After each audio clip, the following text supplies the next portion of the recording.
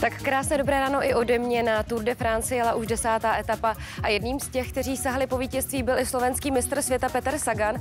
No a na co to určitě stojí počka- za to si počkat je svatební svatba roku. Jeden německý, slavný německý fotbalista si vzal neméně slav- slavnou srbskou tenistku, tak počkejte si na to.